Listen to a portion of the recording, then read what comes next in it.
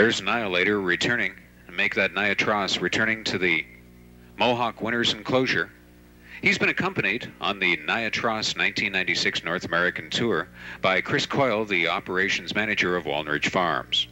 In 1979, Niatross won all 13 of his starts, including the Woodrow Wilson, and was named Horse of the Year in 1979, a very rare honor seldom bestowed on two-year-olds.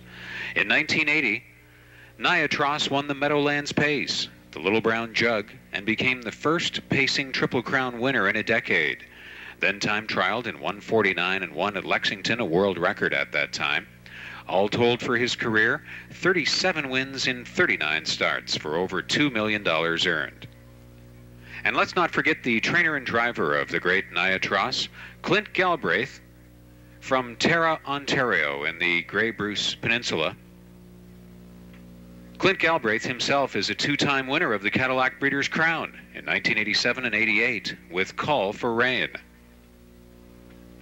Mohawk Raceway and the Ontario Jockey Club, again this year pleased to host the Cadillac Breeders' Crown and especially proud to be part of the Niatross North American Tour.